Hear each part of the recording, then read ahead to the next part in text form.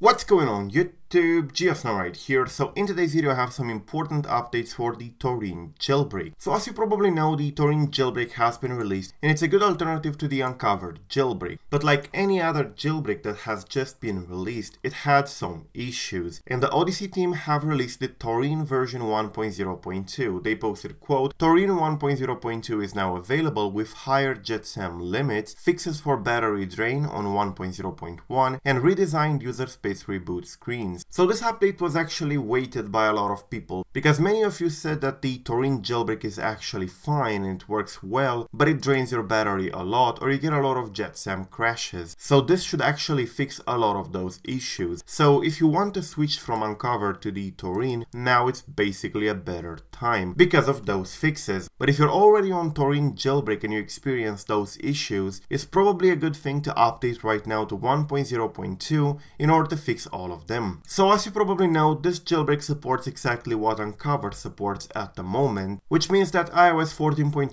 14.2, 14.1, 14.0.1 and 14.0 are all supported. However, 14.4, 14.4.1 and 14.2 are not supported, so exactly like Uncover, it's basically an Uncover alternative, but this one comes with Sileo instead of Cydia, and of course it comes with the Procursus Bootstrap, which is completely open source. So if you want to get it, you can get it as as an IPA file. Of course, this is not a fully untethered jailbreak. It's just like Uncover, a semi-untethered jailbreak that comes in the IPA format and you have to sign it yourself. So in order to sign it, you can use the AltStore, which is the recommended method as well. You can even add the AltStore repo. But for me, it doesn't really work that way. For some reason, my device doesn't get detected. So I use iOS God's Sideloadly. And this one is actually like Cydia Impactor, only better. And it's available for both Windows and Mac OS. So once you get it with this, you double press on the IPA, it loads almost instantly and it shows like this. And if you have the device connected and you've signed before, you have all the details for your account already in place. So all you have to do is press start here and that's